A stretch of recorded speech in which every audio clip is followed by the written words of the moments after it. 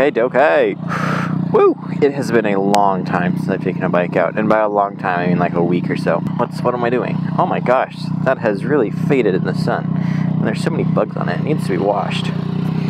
But it's it's getting cold out now. It is late. What is it? Oh, it's like mid-November. That's the word. And so I think it's 56 degrees out right now. It's getting chillier, so riding season's coming to an end, but I'm still gonna ride year round. Oh yeah, look at those sexy.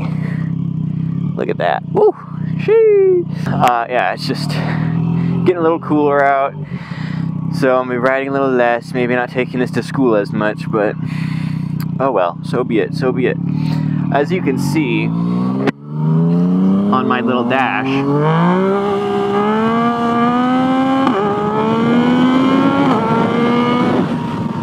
Sorry, got, got a little distracted right there. I kept traction control off. But as you can see on my dash, I have a list of things. That's because I wanted to talk about things and I wanted to make sure I remember what I wanted to talk about. So I made a list. However, that means I can't see what gear I'm in or RPM or speed. So that's fine. That means I just don't need to blur my, my speed out later because speed limits. I'm going slow. I know I'm going slow because I'm not going fast. But getting right into it, today I wanted to talk about how I have progressed as a rider. How I have evolved and gotten maybe better or not. I already said it because that's the title of the video. Oh, cops are going wild. First thing is how I started out riding, which would be dirt and dual sport. I always kind of thought of myself as a dirt guy because when I first started riding, I just like the idea of playing outside in like my yard on a motorcycle. Because like I like playing on my bike, but then you had to go like up hills on a bike, and that's just no fun. So I was like, well, wouldn't a motorcycle be just so much easier? And it is. Wow. And so that's kind of where I started. But you know, after a while, your backyard gets kind of small. So I've always wanted to just go to the street instead. There's so much more area where you can go outsy and aboutsy. And that's exactly what I'm doing. I always go outsy and aboutsy and I find new places to go. Hello. I have no idea who that is. Now, that's one way I progressed. I used to ride street, I used to ride, uh, no, sorry, I used to ride dirt, I used to ride dual sports a lot, and I loved it. But then I kind of figured out that there's nothing in my area to ride a dual sport on. And so now I mainly ride street bikes, and that might be a path that a lot of other people have taken, you know. They think they can go a lot of places on dual sports, so they buy those or adventure bikes, but I find that there's not a lot of neat places to explore in their area, so they just gotta stick with the street and that's kind of like I like I like dirt bikes because of how they're set up and everything, but I can only stay on the street, and that's why I have a supermoto because it's a dirt bike meant for the street.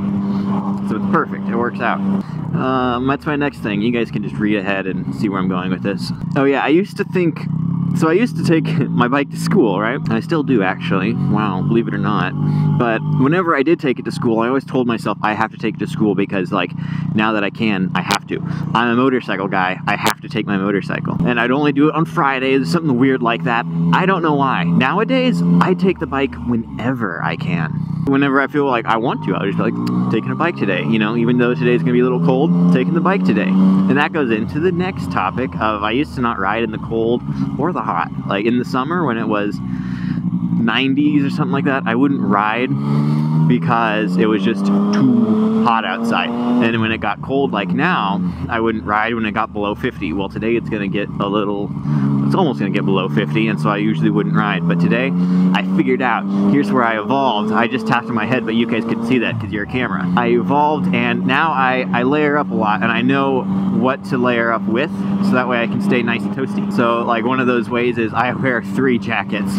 And I never would do that at school because I always thought, oh, it's embarrassing to like take your jacket in with you and stuff like that. And you know, I don't want to have to carry around stuff. And I also, like I said before, I wouldn't ride in the summer because I'd always have a jacket on and long pants. I also wore boots all the time. And those boots were hot, those motorcycle boots.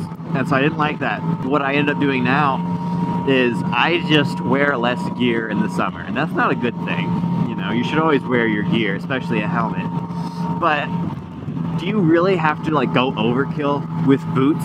Like look at this, even now, it's cold. I should be wearing my boots because they'd be warmer, but I'm just wearing Vans. Just wearing more comfortable shoes. I'm way more comfortable. I just rather be comfortable. And that's like in the summer when I'm just going on short trips to like, let's say work, I would I would wear um, like full gear also and, and the boots, like all this other like stuff that just make me really hot when I get to work and I'm drenched in sweat. Well, now if it's summer, if it's hot out like that, I would just go in a t-shirt, but I would take it much easier on the way to work. So I just started wearing less gear, which again is not a very good thing, and you should wear gear. I would just be more comfortable not wearing gear, which means I get to ride on a motorcycle more, which means I'm more happy. And it's just things you gotta kinda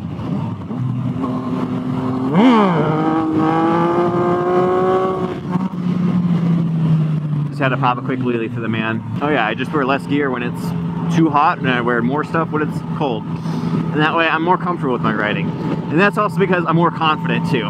As you get more confident, I don't know, maybe confidence kills, but you know, I realized I don't have to wear all that gear, especially, you know, when it comes to boots. Like, look at this man. He's not even wearing a helmet. That's kind of cold for the head. He was bald too. Oh man. But, you know, you just realize you're not most likely not going to crash. Again, probably a bad way of thinking about it, but I would never do that. You know, I would always wear a helmet. I know, I know, it's a very bad thing. And people are probably going to leave comments saying, wow, you're crazy. You should wear um, more gear. I'll be like, I know. I thanks, Dad. I know.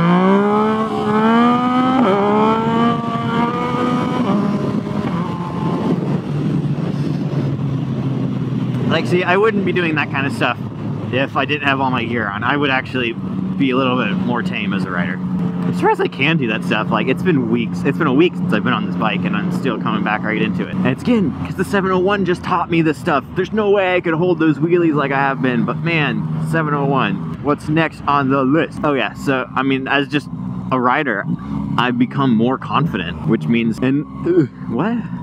Yeah, like, I have confidence now on a bike. You know, I'm willing to fleeing a bike around. I'm willing to do a little more things, and I'm more comfortable like locking up the the rear wheel. And I, I just did that. You guys couldn't see that, but I did lock up the rear wheel.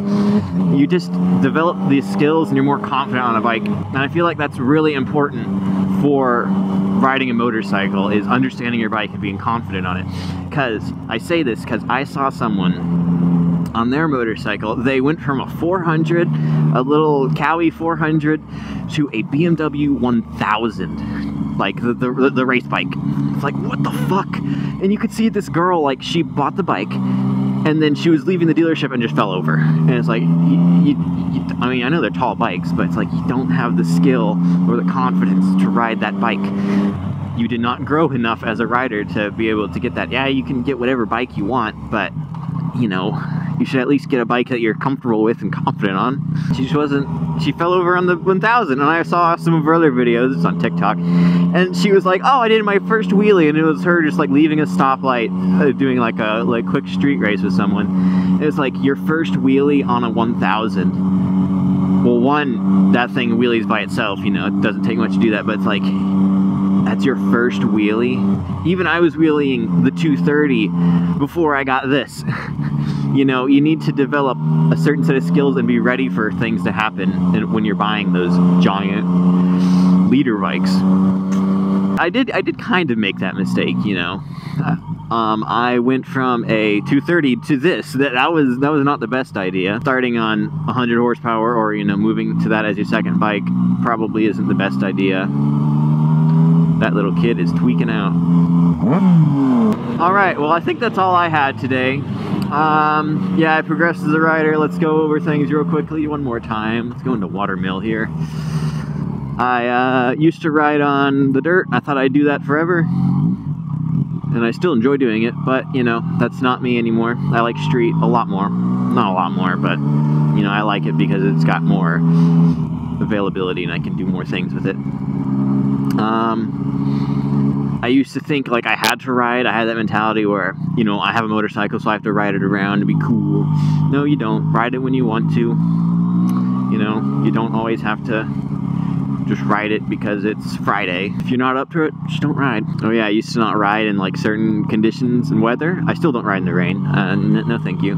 It's just not fun. Like in the cold, I used to just not layer up. I used to just say, oh, too cold, not gonna ride. But hey, I totally could have. And I totally could have ridden more often. Like I said, I used to just ride every Friday to school, which is kind of stupid. I could have just la layered up a little bit, or like I said, I wear less gear, you know, just take it easier on the road. And I would have been able to ride more often. Yep, and I'm more confident as a rider now because I feel like you have to follow the correct transition between bikes. You know, you can't go from a can't go from a little little 10 horsepower to a thousand horse what to a hundred horsepower.